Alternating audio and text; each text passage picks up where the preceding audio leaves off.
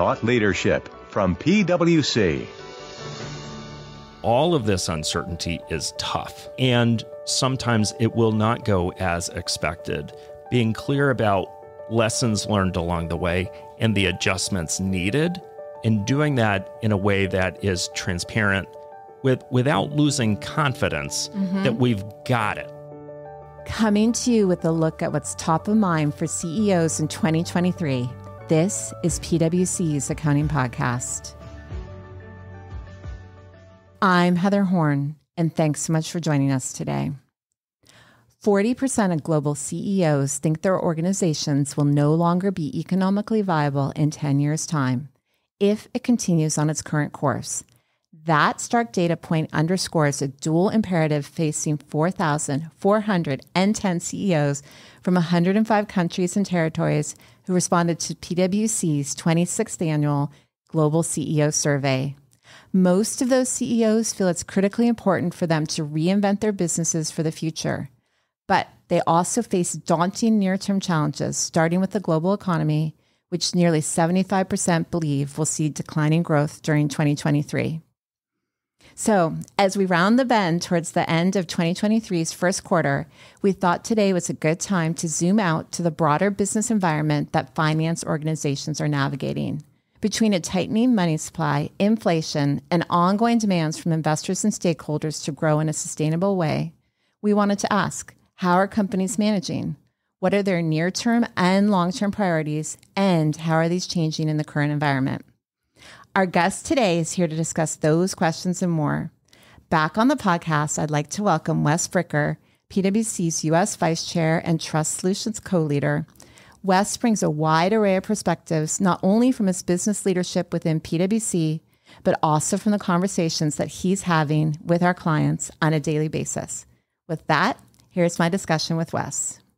So, Wes, welcome back. So nice to have you on the podcast. Nice to have you in person. Well, thank you, Heather. It's wonderful to be back with you and everyone in our listening audience. All right. So, Wes, obviously, there's been so much that's been happening in the markets since we chatted last, and we've seen tough decisions around layoffs. We're seeing uncertainty in the banking sector. Uh, obviously, you and I have been spending a lot of time talking about the upcoming ESG reporting rules, which our audience definitely knows about. And of course, we're also seeing companies right now wrap up their first quarters. And so I was saying this to some one of our other guests. It feels like since COVID, every few weeks has been something new, and that trend is continuing. Maybe 2024 will be better. But in any event, I know you spend a lot of time talking to our clients. So, from your perspective and from what you're hearing, what is sort of top of mind right now? Heather, I think you've got it exactly right. There's three big areas, and this is a period where all three of them include uncertainty. What are the three? Market uncertainty. The second is operational uncertainty. And then the third is financial uncertainty. And oftentimes, business leaders will need to navigate one or two of those three. This is a period where you're really navigating uncertainty on all three of them. And so that requires a tremendous amount of coordination, communication, all of the core basics of really navigating through the storm with a strong footing today in order to set yourself up for a longer term future. So, market, operational, and financial risks, managing them today requires the best execution that you could think of. And when you look at those three different risks, do you see it tilting one direction or another, or it really has to, you really have to keep your eye on all three right now? Well, I think it, as with many things, business model uh, will will cause you to to be more um, more significantly indexed to one or two of those risks. You, you mentioned banking for one, or technology in the technology sector. Execution is really important. Um, healthcare, there's a lot of scientific change in that area. So staying focused on what's what's happening in your operations. Do you have the right supply chain? Do you have the right talent mix in order to deliver? So it really does depend on what is the business model today, but also what is the business model in the future? Because what we see is a lot of industries coming together. Technology is impacting nearly every business model, for example. Well, it's interesting because earlier today I was interviewing uh, Craig Stromberg and Zain Siddiqui from our, um, you know, PwC Intelligence, and we're releasing their podcast next week. But one of the things they were talking about was really focusing in on risk. And so, in your sort of three categories of risk, any that you would emphasize, maybe starting with market? Within the market area, scenario planning is really important because market risks come at you largely in areas where you don't control the risk, you don't control the market, but you can control how you respond to it. And responding to it really gets to scenario planning. What are the possibilities that could happen? Am I prepared operationally? Am I prepared financially for those scenarios? Have I gone through a tabletop exercise, for example, if I'm exposed to liquidity risk? Have I gone through a, a, a, good process of looking at foreign currency exposure, for example, for some companies that have significant cross border activities, maybe they have an extended supply chain.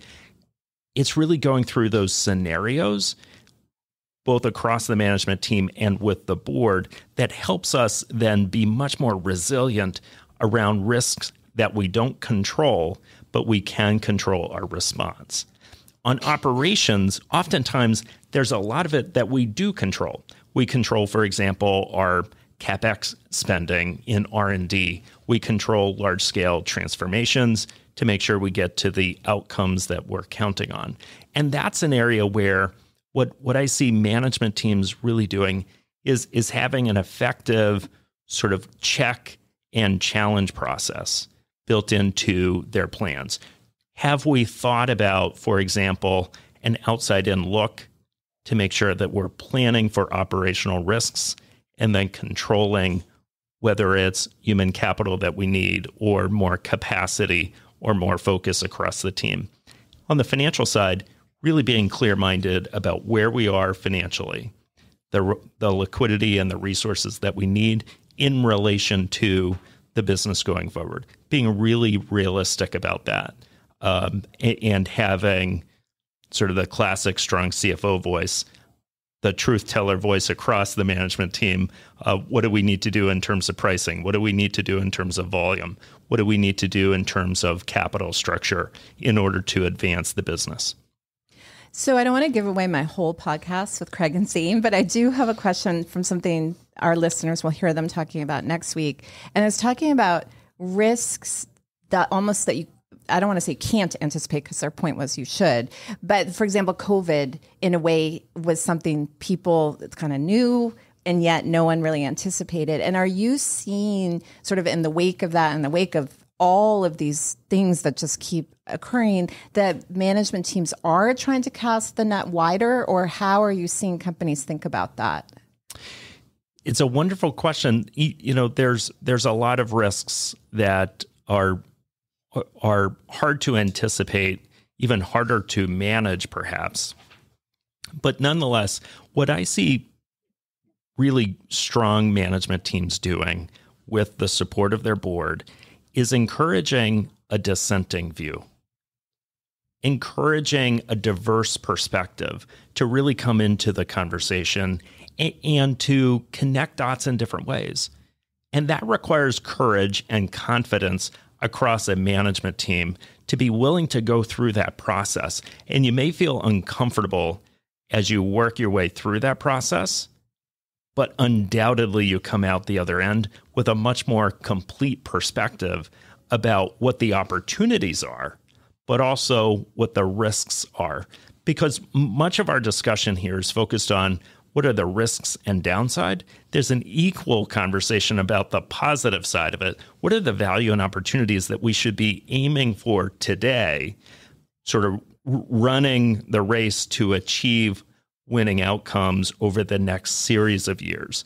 Because as much time as we need to spend today on managing risk, getting through uncertainty, we also need to have a clear minded view on where we're going in order to allocate capital to achieve those outcomes in the future. And that's where business model reinvention really comes in to achieve sustainability of the business going forward. So that's actually probably a perfect lead in to my next question. It's interesting because uh, the reason I asked you on the podcast to begin with was to talk about the results of our 2023 Global CEO Survey. And then, yet, we've had all these other things happen. So I know we're going to go in a few directions. But I think this reinvention point is a key point that came from that survey. So can you maybe level set for our listeners some of those facts and then we'll, we'll walk through them? That's right we um, we we did as we oftentimes do with with CEOs on an annual basis. We we pull them together in the context of a survey. Forty four hundred CEOs responded to the survey in 2022. And what was really fascinating about the voice of the CEO is that on the one hand, there was a degree of pessimism across the CEO community about the markets more generally. What's interesting about that, so 78% said, we see tough times ahead. But when you talk to CEOs about their business, there's a healthy degree of optimism. Why is that? Because management teams and CEOs don't get paid to sort of watch their business go the wrong direction. Mm-hmm. Management teams get paid for growth, margin expansion, and value creation. And and so it's it's interesting, sort of the survey at, on the whole, and then the optimism across the C-suite within within management teams. So, Wes, you're almost saying CEOs are looking around and saying, "No, things look not great for everyone else, but we're headed in the right direction." But we can do it. The the the optimism I think is important mm-hmm, because the way companies show up with their teams to motivate through tough times is massively important. Companies have to believe that they can win in order to win. Just the same, if companies lose faith in their future, you're probably looking at a change of a management team at that point. So, so optimism is really important. The second piece that came through the survey, which was striking, is that 40% of CEOs said that they anticipate that their business model would not be economically viable in the next 10 years. So, as CEOs looked over the 10 year time horizon, essentially they saw the need to reinvent. You need to reinvent in order to stay economically viable. Again, back to the point that management teams get paid in order to generate value and preserve value. They don't get paid to just sit on their laurels and watch the business deteriorate. And and so that that's where optimism meets action. Business reinvention is all about taking action in order to advance the company. And and those those areas that were really driving the view about economic viability really starts with transformation with most customers. The way companies are engaging with their customers on the sales side, the distribution side, what is the value being promised? There's a lot of change in that area. The expectations, if you just think about what what we as individual consumers, for example, expect through um, through technology as we engage in products or services as we look for value, it's changed dramatically. Companies are now adjusting, whether it's a business to consumer platform or business to business platform, companies are adjusting to that. So that was one of the key areas. So, as if I put those, I'll call it three things together. So, broadly, they're pessimistic when they look around and they think that their own business probably needs to reinvent and redevelop over the next 10 years. But they're optimistic that they are able to do that. Is that sort of putting those pieces together? That's a really good synthesis heather. The um, that optimism then also carries into all of the work needed in transforming the way a business operates. So this is this is not a top line transformation and reinvention. This is a reinvention of the core delivery of a company. Maybe it's to manage a cost structure. Maybe it's to manage supply chain risk and, and, and make a company much more resilient. Maybe it's to uh, diversify funding and other financial resources. So the work in just the core of operations is also significant. But one of the one of the nuggets coming through the survey in that area, companies and CEOs were generally preserving their human capital. The talent war is tough, and certainly within different industries, different pockets, you see some layoffs in order to manage cost structure. But on the whole, CEOs see the importance of retaining top talent in order to accomplish the objectives of the business.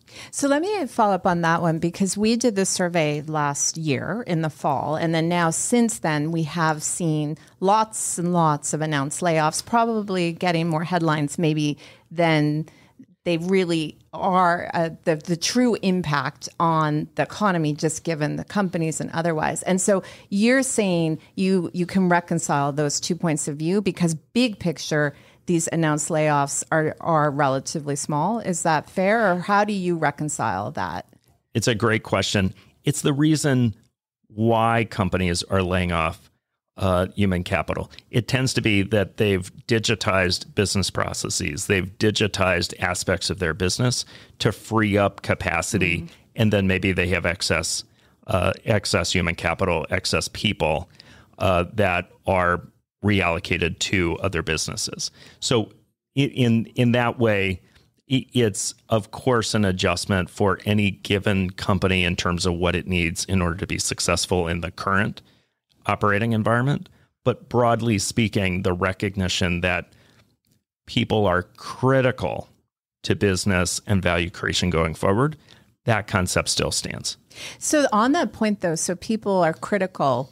And yet, if I'm sure some of the people listening are thinking reinvention, transformation. I've already been through everything I've been through the past three or four years. Even I don't know if I'm hybrid, I'm back at work. Uh, you know, uh, business just seems like there's a lot more change right now. And so, do you?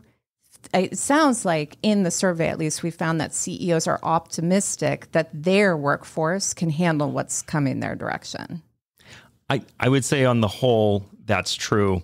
The search for top talent is still very intense. Just in my travels across uh, business leaders and conversations, the search for talent that is able to navigate through change, to find stability in a moment of uncertainty, mm-hmm. to inspire teams, to sort of rally a, an, an entire team to accomplish um, bigger, greater reinventions, like that search for talent is still out there, the search for leadership. All right. So it sounds like for our listeners, depending on where you are in the organization, there's opportunity for you too if you can be that positive force for change instead of the one dragging your feet against what's coming. Yeah, that that's right. And then I think b- business leaders also see the obligation that they have to um, to everyone to not leave people behind. So if we're providing upskilling in digital technologies, if if we're providing retraining, that that is approaching the discussion with a no one left behind attitude. Now, of, of course, some may decide to uh, to to move or or reshape their mm-hmm. their careers differently or in a different timeline, etc. But part of leadership here is in understanding the human side of business. It's not just just about sort of the mechanics of it. Um, there's there's a real human side to business as well. So that also leads then to my next question, which we've spent a lot of time talking about sustainability reporting. Social is obviously human capital. How do you see the ESG concepts impacting this reinvention? And is it still more um, hype, or are you actually seeing it integrated into what companies are doing as you're talking to people? Yeah, I, I'm seeing business leaders integrated into their business model. ESG or climate transition or human capital reporting or cyber reporting. Mm-hmm. There are a number of different areas of addition of non-financial reporting that's important to understand progress and performance of transitions. Take energy, for example. Climate transition may involve re engineering products, re engineering the delivery of services to be much more sustainable in the in the way those are executed. So some companies are reporting publicly the amount of R&D expenditures that are driven through sustainability. Those are important metrics then for investors, other capital providers, and even employees to understand the pace and the intensity of reinvestment in the business to understand whether the company is well prepared, not just for today, but but over the longer term. So I, I am seeing a continued integration of ESG metrics into the business model so that users of that information can better understand what's actually occurring not only at the top of the organization strategically, but also in the middle parts and the smallest, most distant parts of a business. Is it really being transformed? Are we really achieving the, the sustainability that we all anticipate? And then, Wes, uh, a follow up question to that is that ESG inherently, in some ways, is like a long term. We started the podcast talking about very immediate, right? The, the issues going on in banking, continued supply chain, which I think three years ago we thought we would not still be talking about. So many things like that. How are you seeing um, CFOs really devote their time between that? I have this immediate crisis, and yet I also have to think about 10 years from now to make sure I'm reinvented, and I have to think about the cl- climate. You know, so many competing priorities. Right. CFOs are increasingly taking on the connection of individual functions, different operational areas, because it, it's really in understanding the operational areas that a CFO can also communicate about the financial performance of the enterprise. So it, I, I think of it broadly as CFOs being air traffic controllers um, or operational CFOs. They have to not only manage uh, takeoffs and landings. They have to manage what's happening on the ground. They have to manage the uncertainty of weather patterns, which is outside of their control. They have to manage the the operations of the tower to make sure that that the right people are there, the right expertise is being represented, and then they have to communicate. They have to communicate not only with pilots, they also have to communicate with others flying through the airspace. So naturally you can see I spend a lot of time in airports yes. these days. But it, it's it's that notion that a lot of things are coming together for the CFO or the office of the CFO, which is important to delivering on the financial performance of a company, the position, the financial position of that company, and maintaining cash flows and liquidity. So all of that comes together sort of in a central way that's why I say today more than ever, the operational CFO mm-hmm. is someone who has their their hands in many operational areas to manage risk, to identify opportunities, to evaluate deals, to evaluate dispositions, to evaluate reporting of capital raises and periodic reporting and the confidence building externally and with the board much of that's coming together with the CFO. Well, I definitely think many of our listeners will like the analogy to air traffic control. If nothing else, it shows the importance of our role as accountants and, and finance, which I think sometimes, you know, that seems pure back office, but I think you emphasize there the importance. But when you were just describing all the things CFOs are thinking about now, are you seeing then in practice that they're changing the staffing of their organizations? You talked before about top talent and the like, but how about the skills that they're looking for? The the skill set of the CFO, finance organization, corporate controller, further down, continues to uh, incorporate digital skills as a core backbone, as a as a core capability. That digital skill set to achieve much greater efficiency in the execution of the day to day, but then increasingly an operational understanding. For example, do we understand technology? Do we understand um, engineering if that's relevant to the business model? Do we understand science and the way that uh, products or services are are being shaped going forward? And then bringing that those operational aspects into the discussion of capex. Do we know where we need to allocate capital? And are we getting the outcomes that we anticipated? Do we have the return on our investment that we anticipated? By the way, are we meeting our compliance obligations along the way, whether it's ESG reporting mm-hmm. um, or it might even be tax reporting on different attributes like carbon and so forth? So, really, the skill sets that come together for a CFO include a much wider set of capabilities that go well beyond just finance. Right, definitely. And I think that's a helpful perspective. So let me take us back to the survey for a moment, because I think one of the things, you know, you made the point at the beginning, this is a global survey, amazing number of responses when, uh, you know, you think about it, how hard it is to get those. But did we see any differences regionally as we kind of look around the globe? Obviously, many of the issues are global, but there's definitely regional flavors of some of them. We we did see some um, some regional variations. Uh, for example, in Africa, Brazil, China, more stability there. Uh, we we saw a greater degree of optimism in the U.S., but then we also saw uh, sector and industry level variations. Uh, technology, health industries impacted by reinvention at a much greater speed and intensity than some of the other traditional uh, industries. So that that is the pace of knowledge, the pace of reinvention um, is moving at different at different levels of intensity across sectors, but this impacts everyone. Everyone has some aspect that's impacting their business. And I think that was the consistency we saw across the CEO survey.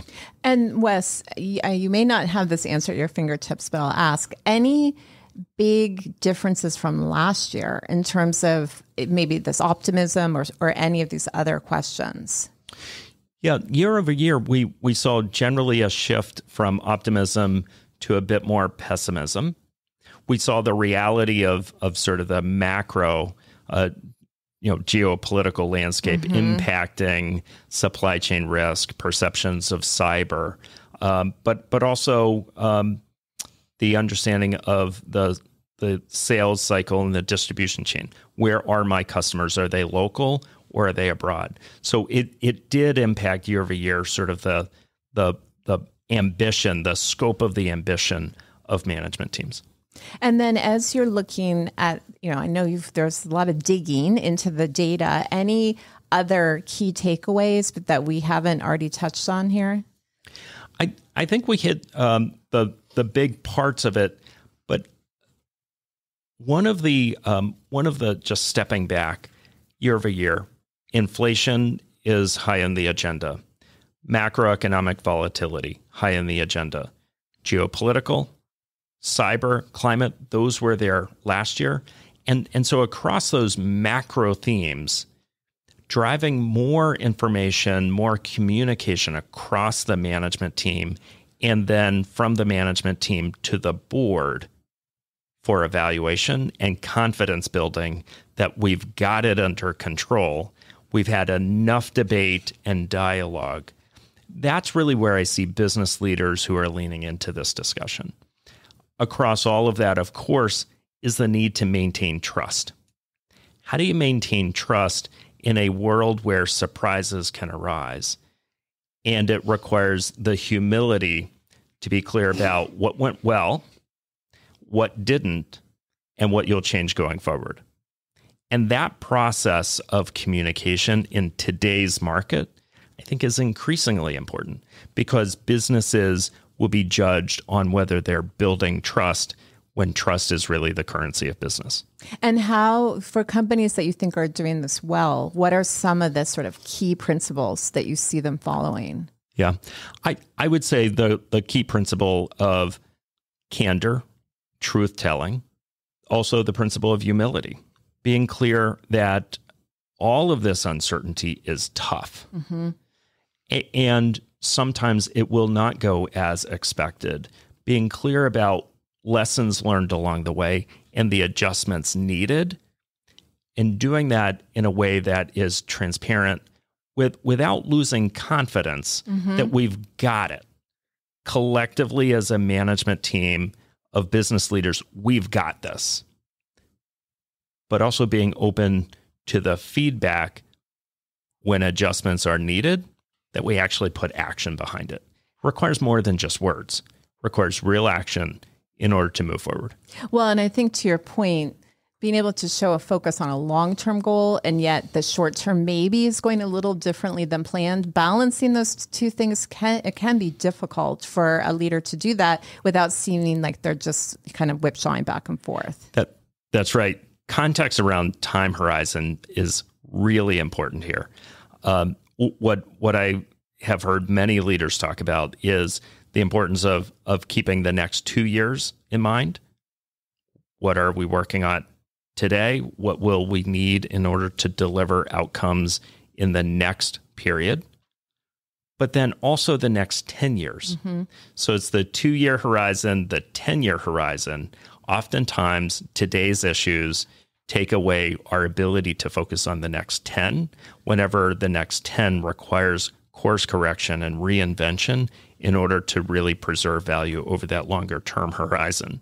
And and so the management point there is to make sure we have the right capacity to achieve both because they're they're it's a prioritization question. Mm-hmm. Do do we have enough time and attention in our day-to-day to land both of those successfully? All the while anticipating also in a 10-year horizon, you may go through management changes. You may go through changes at the board and so you need stability through succession planning as well, mm-hmm. so that the entire team understands where we are today, where we're heading over the next 10 years. And as new voices come into the leadership table or the boardroom, those voices understand the context of decisions made and they can add to it with the context of lessons learned uh, to, to shape things going forward. So, succession planning capacity and alignment across the team are three really important management points as we go forward. So it's, it's interesting because you talk about two years and 10 years, and yet one of the things we've been talking about is the fact that a lot of companies are making commitments that are you know 20 or 30 years off particularly in the area of climate but i think we're going to start seeing it more and more biodiversity and otherwise with some of the recent developments so how how do companies reconcile that? And where does, for example, climate commitments fit into this discussion? I'm so glad you you you raised that because it's it's true. It, it's a reality that in order to make progress on macro items like greenhouse gas emissions, the time horizon for transformation includes both operational change as well as scientific discovery. So the time horizon can often be decades, but we don't have decades to wait mm-hmm. to take action. We need to take action today. So, how do you sort of balance time horizons? What I've seen leaders do is really start with that long term perspective, maybe it's 30 years into the future, and then to sort of chunk it up. What's my what's my two year plan? What's my capex plan? Maybe that's five, seven, or even 10 years. Mm-hmm. And then what's the plan beyond that in terms of my suppliers, my distribution, my business operations, geographies? And that inevitably brings scenario planning right to the forefront.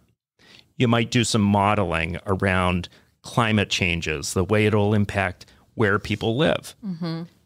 where resources are provided, how that impacts energy uh, supply and diversification within the context of your business.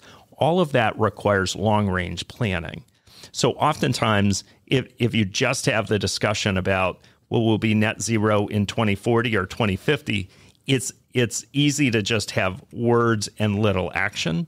What I see leading teams do is really put plans in place for action today with the long term goals in mind and a board that really focuses on accountability and performance today in order to to achieve those long-term objectives. So it's interesting because you talked there about scenario analysis. I know it came up before. One of the things we've been spending time talking about is influence because some companies may have a lot of influence on some parts of this focus on greenhouse gas and then not much otherwise. And so that is where scenarios come in. But do you see companies sort of recognizing that there's some things they, they can manage and some they can't? Or how, how are they dealing with that uncertainty? I, I think it all starts with um, good analytical rigor around what can we control, what is not in our control, or said another way, what is not yet in our control. And and so first being clear about what is what does the destination look like? Maybe it's 20, 30, 40 or, mm-hmm. or 50. What does that destination look like? And then shrinking the time horizon to the a, a much nearer term set of priorities operationally. From there, looking at the capex what does it really take? And do our capital providers understand the context of our business model, the investments that we anticipate, and whether we will create sustainable value? Because really good management teams see both the value and opportunity side of this as well as the risk management side of this. So this this isn't about allocating capital for no return. This is about allocating capital and getting a return from that. So the financial model becomes really important. And then the reporting and communications model also is important. When I, I saw some stats the other day, 97% of US companies are reporting sustainability, which might include a net zero commitment, for example. 97%. But across all of those, the level of confidence in those reported numbers is still lagging. So there's a lot more work to do on the reporting piece in order to build confidence that the decisions we take today as business leaders are really translating into action. Well, so I think you anticipated my next question because I did want to ask you. I know coming from your background that you see the value of reporting. And I think we've talked before about the value of sustainability reporting, other, you know, other types of non-financial reporting. So how do you see companies really taking advantage of telling their story using reporting in a be- beneficial way instead of just like yet another compliance exercise? I love this question because if it's just a compliance exercise, management teams are missing the real opportunity here. The opportunity is to present a strategy and a vision for the business. What do we see that? Where where do we see an opportunity for pricing? Where do we see an opportunity for a better operating leverage, a better operating model with with a different cost structure? Mm-hmm. Where do we see those opportunities? So increasingly, what companies are are doing, they're being very specific about the investments that they're making, for example, in sustainability, and communicating how they fit into the overall system. Maybe it's a supply chain they fit into, and they're producing materials that are ready for um, equipment that runs on electricity, for example maybe they've diversified their their offerings and they get premium pricing. So being really clear about where we're investing, how we're allocating capital, then achieves a greater stability of outside financial capital coming into the business. Better liquidity, better pricing of financial capital, and better returns over time. Like the markets, the markets have a thirst for high quality information in order to support pricing of securities, pricing of capital, and an evaluation of performance. The markets give us a tremendous amount of feedback about what's working well, what's resonating in business, and what's not. And so, real management, leading management teams have their eyes peeled for that feedback and they incorporate that into their corporate planning.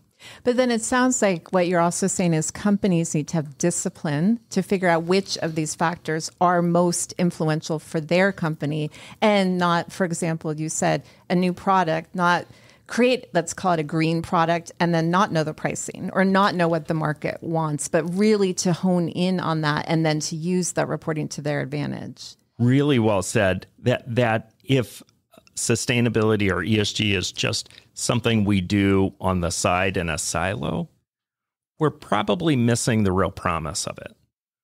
Because what we're not then doing is incorporating into every aspect of our business model, every aspect of our business decisioning, and then the reporting that flows from that. So we're, what we're not then doing is redesigning our products in a way that incorporates what's important to our consumer mm-hmm. base. We're not re-engineering our cost structure to be long-term competitive. And we're not providing information to our capital providers that enables us to plug into long term stable capital. Yeah, so uh, this almost goes back to then your two year, 10 year, and then I'll say beyond horizon. But if I look then at the, the overall themes of what you've taught, you're talking about, the right human capital and the right talent is the key, it seems like, to all of this. Because if you don't have the right people, you could have a great plan, but no one to execute you may have executors, no plan. Like there's so many problematic scenarios. So again, what are you seeing from a sort of a talent perspective that companies should be focused on? That is such a great point to pull together on this.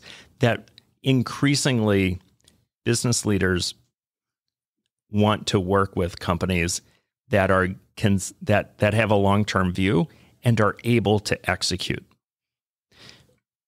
What I found is that ESG becomes a tool for helping to communicate to the best talent in the marketplace that we have a sustained or sustainable future. That that we're creating value even as expectations shift around the role and the responsibility of business. That's where top talent, whether it's science or technology or engineering, even finance, and management talent, that's where it tends to converge.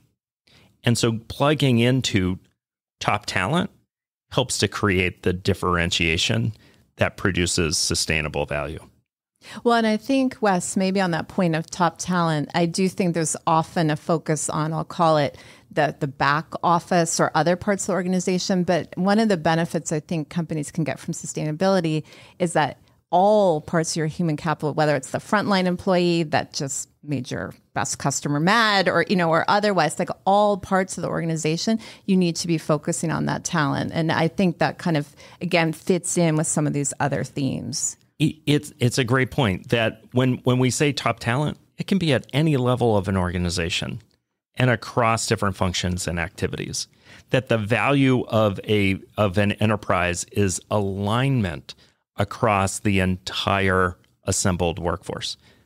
That those those people may be working for the company in ge- different geographies, different labor markets, different cultures, different customs. They they may be um, they may be in different functional uh, backgrounds. They may be full time and part time and virtual and flexible. Mm-hmm. And and so the leadership capacity to pull that all together to provide a shared purpose, a common inclusive approach to um, to working and achieving and delivering that purpose. Like that's the that's the capacity of real business leaders to really make that a reality. And I think that's that's where many companies are on a journey. It's hard. Mm-hmm. Like it's hard to produce that outcome consistently day in and day out. But still that's that's the work we have in front of us. That's the that's the opportunity to create a real difference for everyone within the organization. Well, so Wes, I'm going to take that back then, sort of full circle to one of the things we said at the beginning, which is you talked about the voice of the CFO. And you also made a good point about dissension and how companies, you know, leaders need to be willing to kind of give the tough message. And then you also reference air traffic controllers. So if I put that all together, and I think anyone in finance who's listening knows you often are the bearer of bad news. You often do have to give the different point of view. Maybe you're reporting ESG statistics that the rest of the company doesn't like. I mean, there's so many different things. So how do you see CFOs balancing? They need to be inspiring. They need to be part of an, you know, a highly functioning leadership team and being willing sometimes to be contrarian. I think it really comes down to trust. CFOs need to earn the trust of everyone around them, whether it's inside the company or outside. And they earn that trust by listening carefully, but then also speaking and taking action. So back to the air air mm-hmm. traffic controller, if if someone needs to come in for an emergency landing, CFOs have to clear the runway. But also CFOs have to be direct and firm if the airspace is unsafe as a result of weather. And that may mean planes are grounded. That may mean a lot of passengers are unhappy. But air traffic controllers have the responsibility for safety. There's a clarity of purpose, there's a clarity of objective, which is keeping everyone safe. It's that it's that communication that then builds trust over time with the consistency and clarity of purpose, of understanding how we made the decision we made, what the outcomes were, what we learned as a result of it, and the feedback being humble enough to listen for feedback. All right. Well, I, I think considering you're the leader of our trust practice, probably ending our podcast on a message of trust is a good a good place.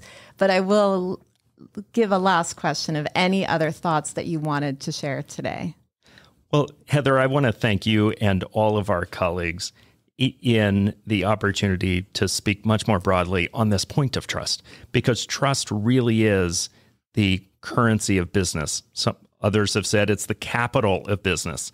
Trust is an opportunity as business leaders to really build confidence that we've got this. And I am optimistic. We've got this. As uncertain as the world is, in terms of the marketplace, operational change, financial resources, we've got this. All right. Well, that's definitely a positive note after sort of negative notes at the beginning of our podcast. So, Wes, really appreciate you joining me. Thanks for all the insight. Thanks very much, Heather. That's our show for today. Tune in next week for more fresh episodes. So that you never miss any of our audio content, follow the PwC Accounting Podcast wherever you listen to your podcasts.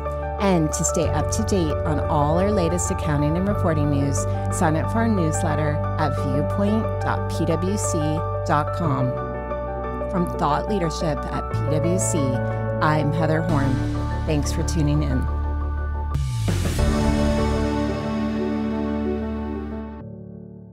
This podcast is brought to you by PwC, all rights reserved. PwC refers to the U.S. member firm or one of its subsidiaries or affiliates, and they sometimes refer to the PwC network. Each member firm is a separate legal entity. Please see www.pwc.com/structure for further details. This podcast is for general information purposes only and should not be used as a substitute for consultation with professional advisors.